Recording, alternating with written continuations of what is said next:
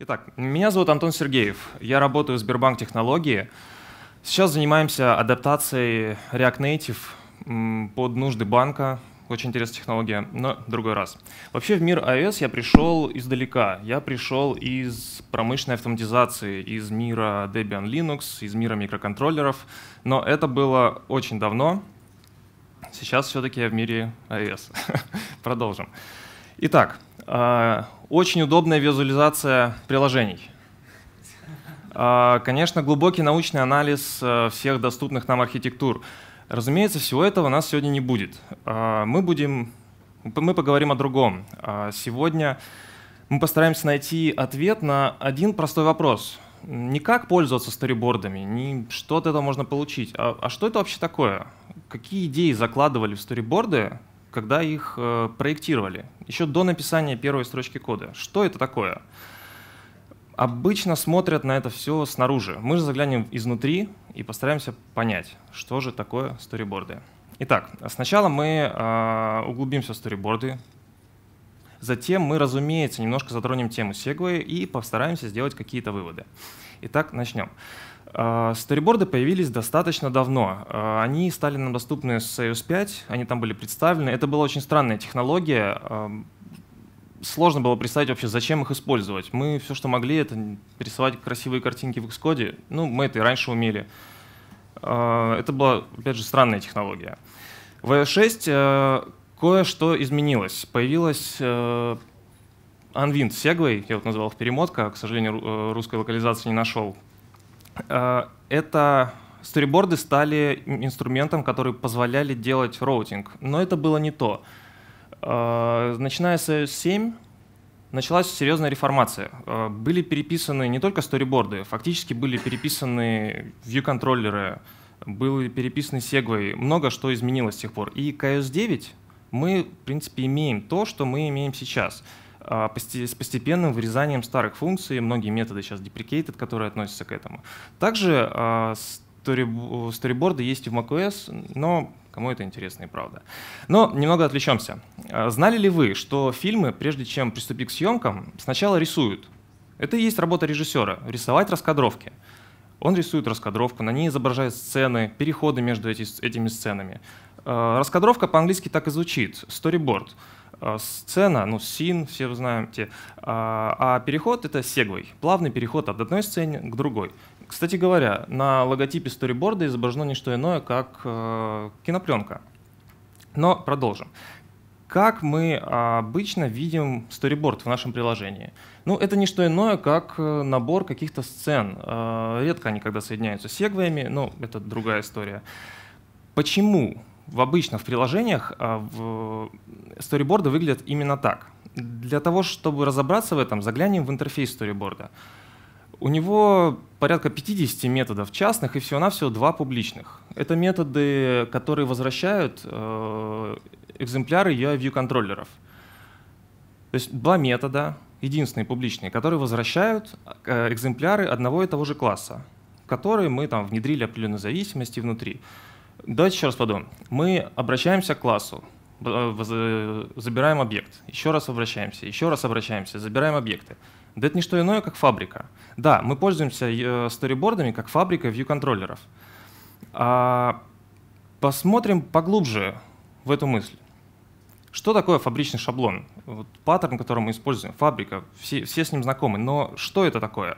Ну, во-первых, а, это класс или ну, объект, который должен уметь возвращать экземпляры, которые удовлетворяют тому или иному контракту. Ну, в данном случае это, они должны быть под классами UI-View С этим все понятно, но это не все. Что немаловажно, а, в эти экземпляры должны быть внедрены все зависимости, иначе они бесполезны. Их нельзя использовать, пока они не готовы. Для того, чтобы посмотреть, разобраться, как все выглядит, создадим новый проект, э, Single View проект в Xcode, забыл, как называется, Xcode, и а, заглянем внутрь сториборда. Да, здесь не картинка, как вы могли подумать, это сториборд. Что мы можем понять из этого полотна кода? Ну давайте взглянем на первую строчку. Обычно я так делаю, когда открываю файл с незнакомым форматом. И мы видим, что это XML. Это хорошая новость, потому что XML мы умеем читать, э, не только парсить программно, но и читать э, глазами. Это, это хорошая новость. Дальше обратим на тип, обратим внимание на тип корневого документа в XML. А, как мы видим, в названии есть не только storyboard, но и XIP. Это интересно, и нам это еще пригодится. Дальше идут какие-то зависимости. Наверное, Xcode зачем-то они нужны, оставим это на его совести. Взглянем внутрь. А, внутри, э, внутри корневого, одного из корневых компонентов сцены есть э, внутри сцены, и обратим внимание, что внутри каждой сцены есть э, объекты верхнего уровня. Это objects и placeholder. Это интересная новость, потому что это что, не что иное, как XIP, с которым мы все знакомы и все знаем, что это такое. Единственное, есть отличие. Если вы обратите на placeholder, то в нем нет самого главного placeholder в XIP, нет файлоунера. Что странно, без файлоунера XIP, и, точнее в рантайме NIP работать не могут. Ну, продолжим. Создадим, э, раз это XIP, возможно, он умеет делать тоже, э, раз это очень похоже на XIP, возможно, он обладает всеми теми же функциями, которые у нас есть. Ну, создадим какой-нибудь outlet. И опять же заглянем внутрь. Какие изменения мы здесь увидим? Ну, во-первых, появился наш объект, который мы создали. Это похоже на XIP. Во-вторых, появился outlet, опять же похож. Э, destination ссылается на этот объект, ну, все логично. Запустим в рантайме и проверим, что все это действительно так. Э, запускаем, смотрим. Да, действительно, был создан объект, который мы ему указали, нужного класса, и он внедрился в UI View Controller, который мы, ну, в наш подкласс, который мы пытались достать. Э, кое-какие зависимости он собирает, это хорошо. Двинемся дальше. В сторибордах э, есть сегвей. Интересный концепт, непонятно, зачем он нужен, ну, сейчас, на данном этапе. Но взглянем э, внутрь, мы добавили Segway, и опять посмотрим на первый наш контроллер. Э, мы э, видим, что он изменился фактически одной строкой. И эта строка — это Segway. Он появился. Причем он появился в разделе Connections. Это достаточно странно, потому что мы э, обратите внимание на destination, и этот код этот хэш, да, хэш, ссылается не внутрь этого графа объекта, как должны ссылаться все, что у нас есть в connections, а он ссылается вне этого графа объектов, то есть какой-то другой объект, в другую сцену, в другой view контроллер. Это что-то новое. Дело в том, что XIP такого не умеет принципиально. Единственное, что он умеет, ссылаться на placeholder, если нужно ссылаться куда-то вовне. А, посмотрим, что же происходит в рантайме с такой ну, с такой ситуацией? Пока что не очень понятно. Запустим, э, инициируем эту Segway и обратим внимание, что view-контроллер э, был внедрен в другой view-контроллер. То есть мы э, destination можем, мы до destination можем достучаться из нашего view-контроллера. Это интересный концепт. В Сибах мы в Сибах напрямую мы такого не умеем. Ну, мы можем написать свою оболочку, но в Сибах напрямую мы это не умеем. Чтобы э, начнем дальше развивать шабло, идею про зависимости. Storyboard — это фабрика, мы используем Storyboard как фабрику view-контроллеров. А какие вообще есть зависимости у view-контроллеров? Ну, во-первых, это две группы, которые, с которыми мы, конечно знакомы. Это аутлеты и inspectable. По сути, одно и то же. Везде в рантайме вызовется э, set value for key, э, но аутлеты используются чаще для объектов, если мы пишем на Swift, а inspectable часто пишется для условно констант, то есть для обычной это структуры, строки, числа. Дальше у view контроллера есть э, иерархия view, которой, собственно, он управляет, он для этого и создан. Но, как мы выяснили, а, судя по всему, разработчики сториборда и view-контроллера предполагали, что иерархия view-контроллеров — это тоже зависимость view-контроллеров, которую тоже необходимо внедрять. Посмотрим повнимательнее, что вообще за иерархия view-контроллеров, как она себя ведет в рантайме, что это такое. Она представляет себя во-первых, просто иерархию. Иерархия — это простая структура, но хранится все в очень разных переменных. Родителя мы не всегда можем найти в переменной parent, мы часто можем найти его в presenting view controller. Детей тоже раскидало по разным, а, по разным, в разные места, и это ну, вручную этим управляться достаточно проблематично, держать все это в консистентности в какой-то. Для этого, э, чтобы не делать это нам все руками, был придуман в view-контроллерах механизм представлений. Представления бывают двух типах, э, двух типов. Во-первых, это модальные. Мы все знаем, мы наиболее часто кастомизируем модальные представления. Э, у них есть всего два метода и огромная инфраструктура, которая позволяет все это кастомизировать. Есть другой тип представлений, это представления дочерних контроллеров, которым занимаются э, контроллеры-контейнеры. Типичные примеры — это navigation контроллер, tab-bar контроллер — у них тоже есть ограниченное число методов, два представляющих и один вот распутывающий, о котором поговорим чуть попозже.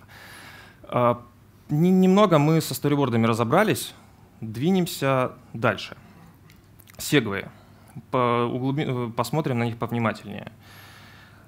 А, опять же, немного отвлечемся и посмотрим на небольшой пример. Все мы знаем приложение Messages, стандартное приложение из, из iOS.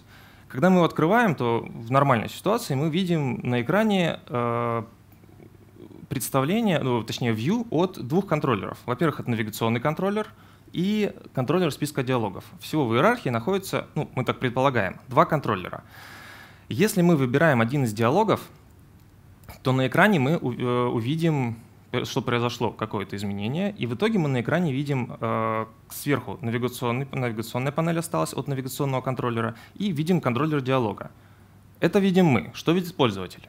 Пользователь был сначала в списке диалогов, потом стал э, потом перешел к диалогам. Сначала для него приложение было в одном состоянии, затем приложение перешло в другое состояние. Но под капотом происходило именно следующее. Сначала иерархия view-контроллера была в одном состоянии, а затем произошли изменения и стала, иерархия перешла в другое состояние. Это нас наводит на мысль, что иерархия view-контроллеров — это и есть не что иное, как состояние нашего приложения. Это одна из ключевых мыслей, которую я сегодня пытался донести. Ну, пойдем, пойдем дальше. А, с иерархией мы разобрались. Какие же у нас есть проблемы внедрения? Мы разобрали, что это э, зависимостью контроллеров. А какие же есть проблемы для внедрения такой зависимости? Ну, во-первых, э, несмотря на то, что это иерархия, подход, который мы применяем с UI-View, нам не подходит. В этом просто нет смысла. UI-View мы собираем полностью и вставляем в view-контроллер. В view-контроллере же иерархия должна меняться динамически, реагируя на действия пользователя. Пользователь может нажимать на кнопку, и иерархия меняется. Пользователь может свайпить, и опять а, иерархия меняется. И тут мы подходим к третьей, ну так, нехорошо, давайте я лучше вот так будем называть, сложности. И пользователь. Пользователь — это... Пользователь внезапен. Он может завести наше приложение куда угодно, туда, куда мы даже не представляли. Но абсурдная ситуация в том, что мы хотим ему позволить э, делать то, что он считает нужным, и удовлетворять всем его пожеланиям, которые бы он хотел получить от нашего приложения. Для, а, как мы поняли, внедрять достаточно сложно такую, э, такую зависимость, и в Apple придумали специальный механизм, который это делает. Механизм сегвеев. Механизм э, сегвеев э, занимается управлением внедрения, управлением модификацией иерархии view-контроллеров. Он живет в некоторых ограничениях. Он живет в ограничениях UI-кита э, и UI-view контроллеров, как и составной части их. В ней э, важный момент, что только контроллеры могут модифицировать свою иерархию. Ни один другой класс не может этого делать. Все те контроллеры, э, все те методы представлений, которые мы видели с вами, это модальные представления, представления дочерние, это все методы view контроллеров. Только они этим занимаются у каждого контроллера есть своя зона ответственности, и он отвечает за нахождение в, в иерархии только своих детей. Он даже не отвечает за себя, не говоря уже о своих родителей. И что самое сложное, контроллеры должны оставаться независимыми друг от друга. Остановлюсь на этом поподробнее – Часто понимается эта фраза как э, внутри имплементации контроллера не должно быть э, указания на какой-то подкласс нашего view-контроллера. Но я предлагаю подходить к этому гораздо более строже. Наша имплементация view-контроллера не должна даже подозревать о существовании других view-контроллеров, о самом факте их существования, а не то, что они там представляются или какого они, какого они класса. Э, для того, чтобы научиться что-то внедрять, нужно сначала, э, точнее, управлять чем-то, нужно сначала понять, что это такое. Сегвы управляют модификациями. Рассмотрим, а какие бывают модификации. Ну, выделяют первый тип, один из типов. Это модификация, при которой в целевой иерархии будет находиться новый view-контроллер или новая иерархия view-контроллера, специально созданная для того, чтобы поместиться в эту иерархию. Ее не, этот view-контроллер ее не существовало до того, как стало необходимо провести такую модификацию. Как это обычно выглядит? А, на сториборде, э, точнее в интерфейсе Xcode мы сделаем обычную сегве, в ходе которой э, уже в рантайме, когда мы это вызываем, э, запускается механизм, который уточняет у, источник, у, у, у первого view-контроллера, стоит ли делать это представление. Затем создается, создается если ответ положительный, создается destination, то есть назначение, второй view контроллер. Затем создается уже э, экземпляр Segway, и затем вызывается метод prepare и вызывается уже непосредственно perform, который э, сделан для того, чтобы осуществить э, представление. У нас э, больше всего вопросов возникает по поводу последних двух методов. Это метод подготовки prepare for sender и метод perform. Рассмотрим их оба. Метод prepare можно буквально понимать как обращение системы к view-контроллеру, что его взаимодействие с пользователем потенциально может прекратиться. А, обращу внимание, что система не просит подготовить другие view-контроллеры, она просит подготовиться самому. Возможно, ему нужно завершить редактирование. Возможно, ему необходимо настроить анимацию. Возможно, у него есть какие-то данные, которые у него закэшированы, и ему нужно сообщить бизнес-слою об этом какую бы архитектуру вы не использовали. Еще раз повторюсь, кастить э, view-контроллеры, типы view-контроллеров не нужно. Этот метод не для этого. Да, он создан для обмена данными между view-контроллерами, но не напрямую. Это нужно делать через слой модул, если это MVC, иные объекты, если это другие архитектуры. А, после метода подготовки а, вызывается метод perform у экземпляра Segway в рамках э, первого типа представлений метод perform, все, что он делает, это вызывает один из этих методов. Больше ничего. А, единственное исключение, разве что при модальном представлении, как мы называем метод present, потенциально мы можем настроить какие-то э, настроить наши view контроллеры, чтобы а, модификация была сделана так, как мы это хотим. Ну, рассмотрим какой-нибудь типичный подкласс а, US Storyboard Segway. Он состоит из одной функции, одного метода perform, больше нам ничего и не нужно. Имплементация метода perform делится на две части. В первой части мы настраиваем view-контроллер, чтобы э, модификация прошла так, как мы хотим. Мы внедряем transition делегат, presentation контроллер. А вторая часть — это вызов того самого метода. Повторюсь, больше здесь не происходит ничего. Это, здесь нет никакой никаких, никакой сложной логики. Это достаточно простой подклад. Это достаточно простой объект, который мы можем смело делать сами. Но это был первый э, тип переходов. У нас есть еще и второй. Это вот то самое перемотка или распутывание unwin segway. Он э, заключается в том, что в целевой иерархии гарантированно э, не будет лишь одного контроллера, но при этом все остальные, э, лучше скажу по-другому, в целевой иерархии будут только те контроллеры, которые там уже были, возможно, за исключением некоторых. Наверное, так лучше сказать. В интерфейсе Xcode это выглядит достаточно просто. Но странно, ведь мы Segway это переход от чего-то одного к чему-то другому, а здесь нет э, никакой стрелки, куда бы это переходило. Дело в том, что мы не можем, не можем предсказать, каким образом будет выглядеть иерархия, когда необходимо будет выполнить такое представление. Посмотрим опять же внутрь сториборда и найдем здесь нашу сегвы. Здесь э, ну, мы заметим здесь unwind action. Это, как видите, это селектор, с помощью которого мы как раз будем искать потом в рантайме его. Но здесь, в данном случае интересно, здесь это поле destination. Обратите внимание, что оно указывает не вовне графа, как мы это видели раньше, оно указывает внутрь внутрь и указывает он на объект exit.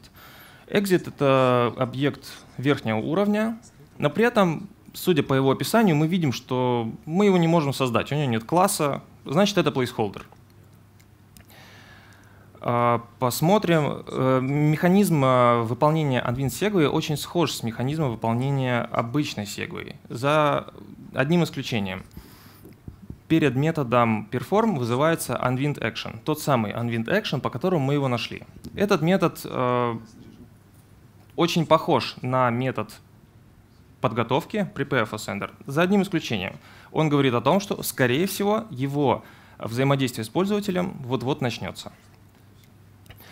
А, метод perform выглядит немного иначе, когда вызывается у unwind action, unwind segway. Дело в том, что делая unwind segway, мы, э, посыла, мы можем двигаться очень далеко. Мы можем найти наш destination очень далеко по иерархии, через 3, через 4, через 5 э, родителей. И необходимо уведомить всех Э, на пути от source до destination необходимо уведомить все, все view-контроллеры, чтобы они смогли полноценно к этому подготовиться. Если это модальное представление, его нужно завершить. Если это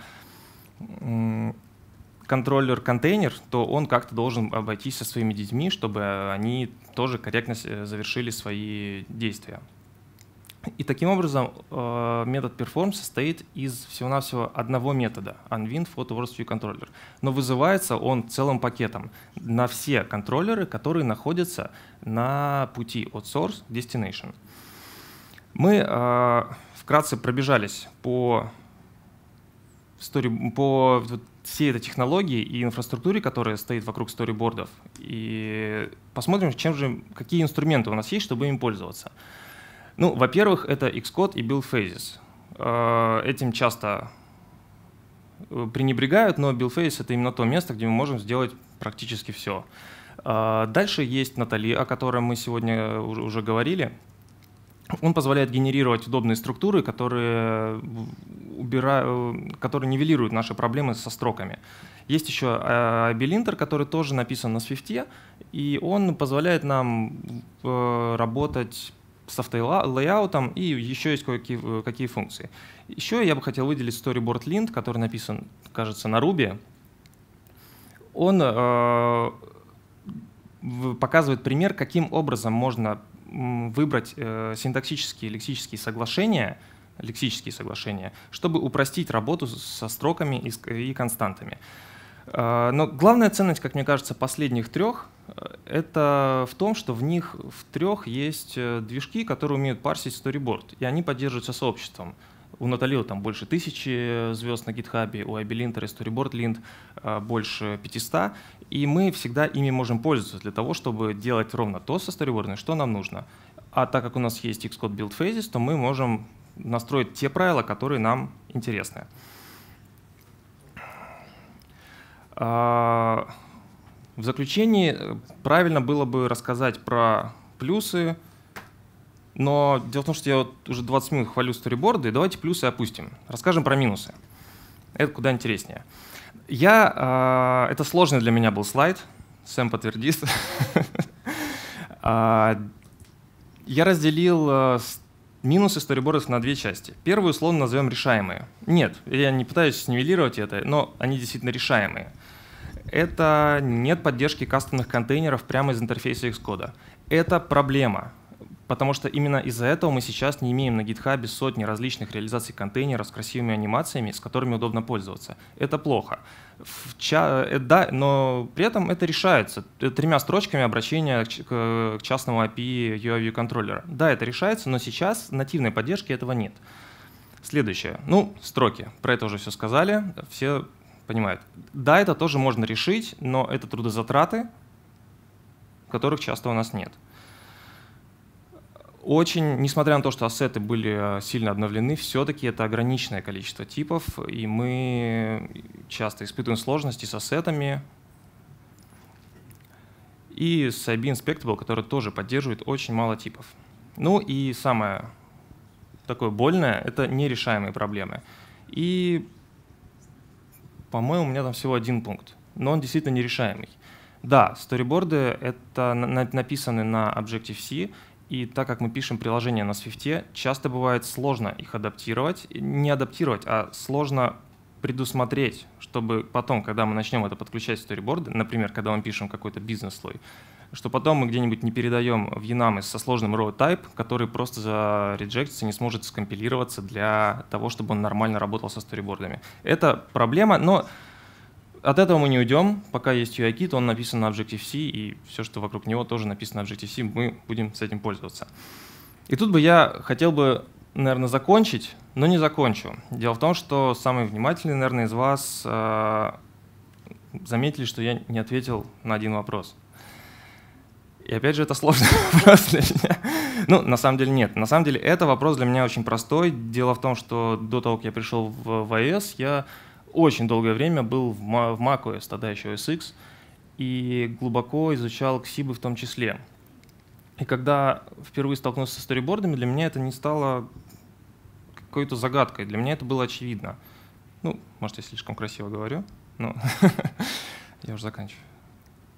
Итак, а, мы копались э, во внутренностях сторибордов, изучали вот сейчас инфраструктуру, обеспечивающую их работу. Мы даже парсили глазами XML — и собирая все найденные детали вот в одну целую картину, мы можем все-таки заключить, что сториборды — это и есть та система, которая собирает в единую картину детали нашего приложения, реализуя паттерн внедрения зависимостей, пронизывающий абсолютно все наше приложение, начиная от визуального до бизнес-слоя, а, затрагивая такие сложные моменты, как э, роутинг, который фактически переосмыслен здесь. И, наверное, от меня в рамках этого доклада может быть интересен э, ответ, а стоит ли ими пользоваться и когда ими стоит пользоваться. А ответ очень простой. Если у вас есть, э, это существующий проект, и он уже использует какой-то э, механизм внедрения зависимости, и у вас уже написано, или вы пользуетесь существующим каким-то роутингом, ну, конечно же, нет. Зачем портировать то, что и так выполняет свои функции? Здесь нет никакой магии в сторибордах. Это просто реализация не более того. Если вы, вы проектируете, начинаете проектировать новое приложение, и у вас нет э, значительных ресурсов для написания своего механизма внедрения зависимостей и своего механизма роутинга, да, это хороший кандидат на использование его в ваших проектах. И, наверное, все. Спасибо за внимание. И снизу будут ссылки на статьи, на некоторые материалы, которыми я пользовался при подготовке. Вопросы? О, сразу.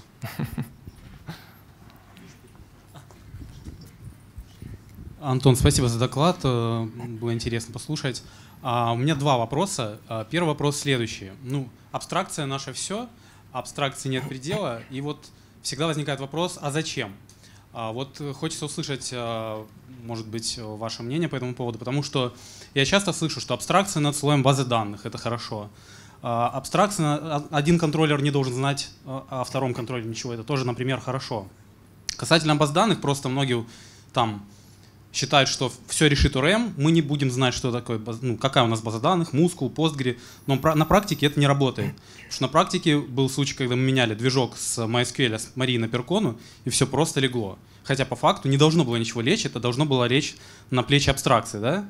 А, на, вот как на практике, по вашему мнению, оправдана ли вот эта вот абстракция сториборда и Segway а, в том случае, что один контроллер не знает ничего о другом? Вот. То есть второй сразу я постараюсь на два. Или это был уже два вопроса? Нет, это был один вопрос. И второй вопрос. А, что вы думаете все-таки вот подробнее о сториборде как о инструменте для dependency injection? Потому что, насколько, ну, мое мнение, а, dependency injection, которая реализована через свойства, а не через init, да, ну, не через initialize-based dependency injection, это плохо. Потому что порождает forced unwrap, а это порождает... Необх... Да, лаконичнее. Я вот, хороший ли это dependency injection, то, что он сделан не через конструкторы. Вот. А, давайте по поводу первого вопроса. А, дело в том, что сториборды, а, view-контроллеры зависимы или нет. А, это не это не, не абстракция. В ViewControl э, мы делаем разные классы и стараемся их делать независимыми. Если у нас один контроллер умеет показывать таблицу, а второй умеет показывать э, навигацию, то им нет смысла быть связанными.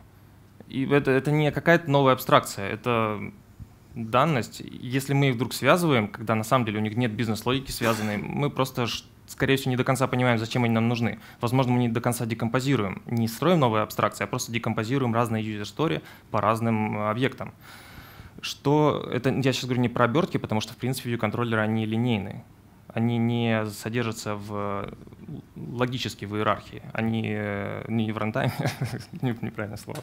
А что касается dependency injection. Дело в том, что сториборды под капотом используют ксибы, ну, в рантайме это нибы. И, мне кажется, какой-то седьмой, кажется, версии storyboard силы, который скомпилирован, это не что иное, как архив, в котором в том числе и нибы хранятся. И он использует конструкторы под капотом. У него есть линейный механизм, каким именно образом он распаковывает прототипы и кладет их в память. И более того, он это делает быстрее, чем наивный подход, когда мы делаем alloc init ну, в Xcode, либо инициализатором пользуемся в Swift. Он э, не имеет каких-то ограничений, которые бы, позво... которые бы нам не позволили использовать. Это механизм. Э, прототипирования и разархивации, который использует НИП. Он очень старый, ему больше 30 лет, но он до сих пор еще, я считаю, перспективный. И он, главное, понятный, линейный, и в нем, ну, как говорю, в нем нет ограничений. Тот же самый наивный подход можно в нем реализовать. Я, наверное, так. Если ответил на вопрос. Еще один последний вопрос. А вроде тема такая, холиварная. Ну, раз так, то... Конфликты. Давай, да. ты, ты, наверное, вопрос. Пару слов про мерж конфликты. Мерж конфликты?